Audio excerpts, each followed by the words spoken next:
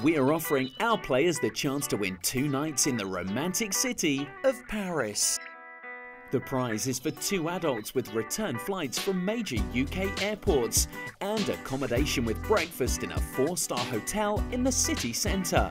Plus, we'll add £200 spending money. Enjoy the sights and sounds of this exciting city. Take a stroll along the Champs-Elysees, see the Eiffel Tower, or sample the vibrant nightlife.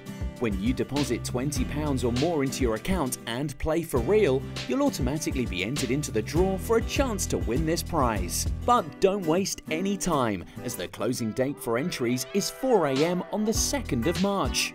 So if you'd like the chance to experience the beautiful city of Paris, simply join, deposit and play tonight.